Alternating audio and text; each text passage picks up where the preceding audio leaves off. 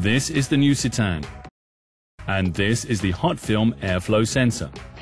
To get access to it, you need to remove the air filter casing, the control unit CDI, and the battery box with battery. Let's start at the beginning with the battery. Open the hood and put on the fender covers.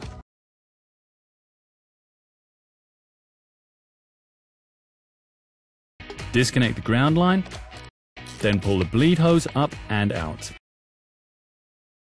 Now disconnect both connectors and release the brackets.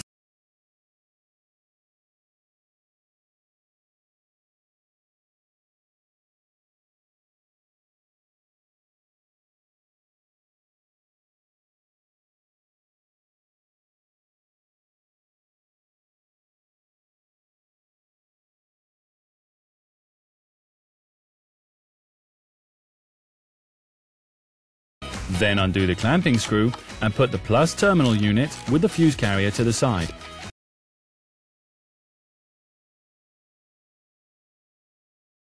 Now you get access to the battery holder.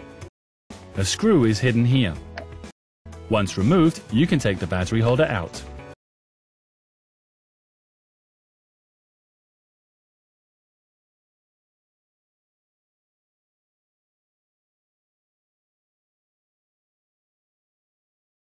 Now put on your protective clothing as you have to deal with the battery. Remove it.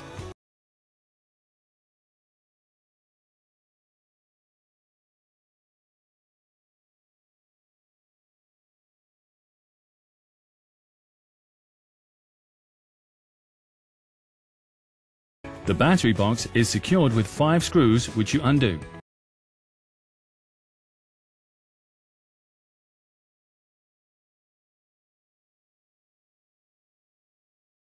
The cables attached to the battery box must also go, so cut the cable ties. And now up onto the lift. But beware. Don't place the bearing surfaces too far to the side. Instead, stagger them in a few centimeters and this avoids damage.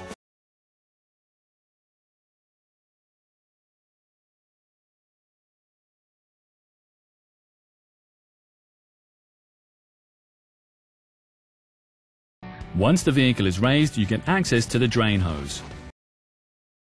Remove it from its mountings. Upon reinstallation, make sure that the hose is installed correctly.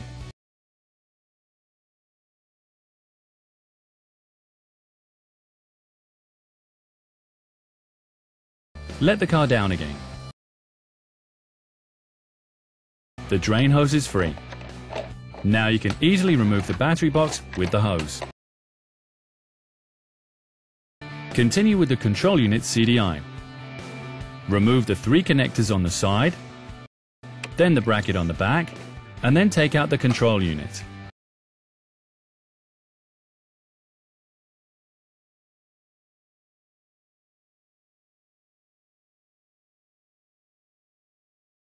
Now to the air filter casing. Remove the rubber seal and the cover.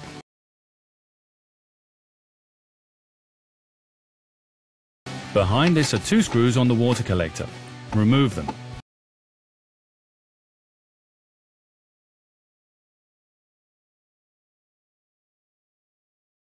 Now undo the clip.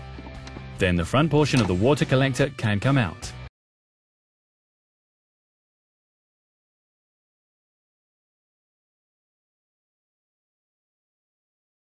The air intake pipe is next. Unplug the connector and remove the wiring harness.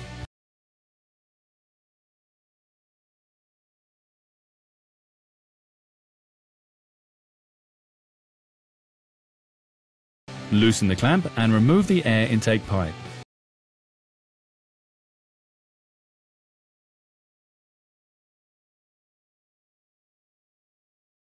Then the air filter casing.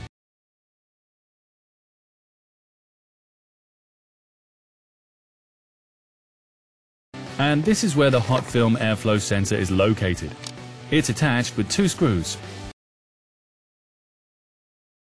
The installation of the hot film airflow sensor takes place in the reverse order.